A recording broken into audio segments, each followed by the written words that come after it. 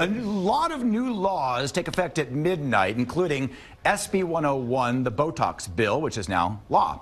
Board certified plastic surgeon Stephen Miller joins us with what this new law means to you and for the medical industry. Dr. Miller, how are you? I'm doing great today. Thank you for having me on your show. Absolutely. So, talk about, uh, for people that don't know, what are the current regulations uh, for people wanting to get Botox? Well, it's really amazing. As popular as Botox and filler is mm -hmm. in, in, in, this country, it's the number one and number two cosmetic procedure performed.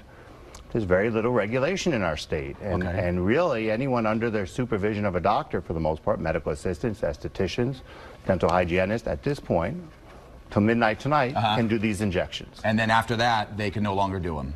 That, that is correct. Okay. As of as of July 1st, okay. SB 101 goes into effect, which will regulate who, which medical professionals will be able to perform these injections and where these injections can be performed. Why do you think this bill took place? It turned into a law. I know it was heated. Uh, it, it, what are the dangers?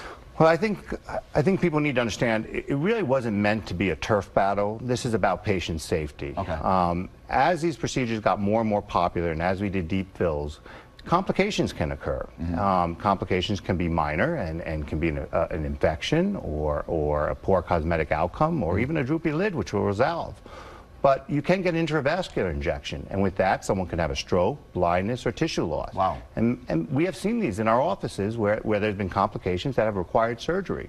So it's really important for someone to be a properly trained medical professional mm -hmm. who understands the facial anatomy, understands proper injection techniques, and um, understands, quite frankly, what to do when a complication does occur to resolve it.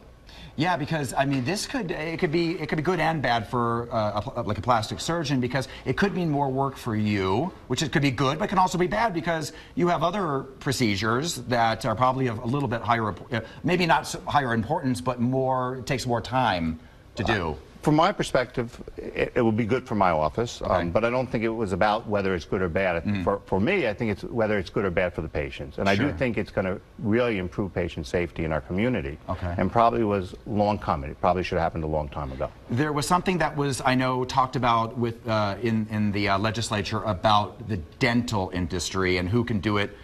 Can dentists still do it? So under SB 101, the medical professionals who will be allowed to do the injections, mm -hmm. and it will not be able to delegate it to someone else, unless they're part of this list, will be a physician, okay. a physician assistant, an RN, an advanced practitioner RN, a dentist, or a podiatrist. Oh, okay. But the dental and podiatry boards will have to have them go on to further specific training to be able to do these injections properly. But this is who our state has defined okay. to understand the anatomy well enough to yeah. do these injections safely. Sound safe. Final question, what happens if they don't adhere to the, the new law? Well, I'm not the police officer, but basically, from what I understand, it will be a misdemeanor, okay. um, uh, which can in, in, mean six months in jail or up to a $1,000 fine. Okay. But it will also be reported to the medical board or, or whichever board for that person, mm -hmm. and there will be potential for professional discipline. Okay.